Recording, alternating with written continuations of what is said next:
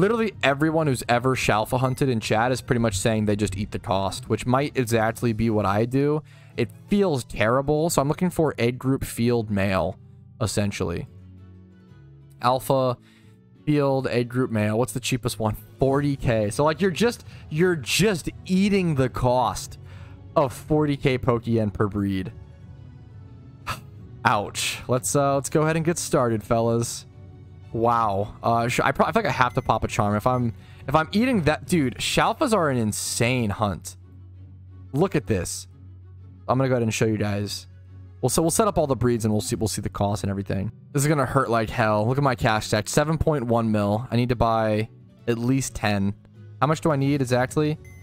Uh, I need 18. Oh my fuck, dude, this is gonna hurt. Is this this is such a waste. I don't know why I'm doing, it, but it's fun.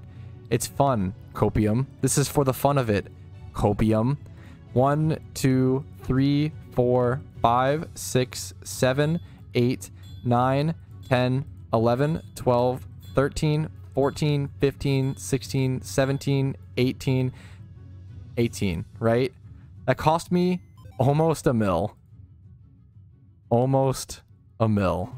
This is tis but a taste of what it is like to be an alpha shunter. Look at this box. Only 20 breeds set up. Let's look at the calculator.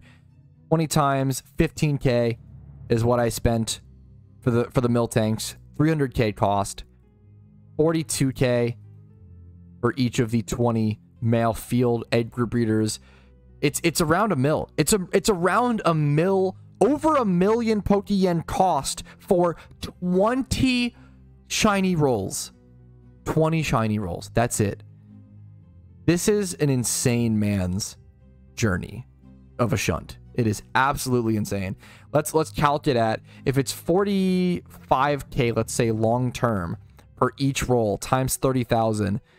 This is the average amount of Pokemon it would cost you to get a shiny Alpha Miltank. 1.35 billion Pokeyen. Uh, yup. Three days of gym reruns for 20 rolls. What a way to think about it, dude. Jeez. Well, well, let's go ahead and pop our shiny charm and get started, fellas, and hope we get lucky.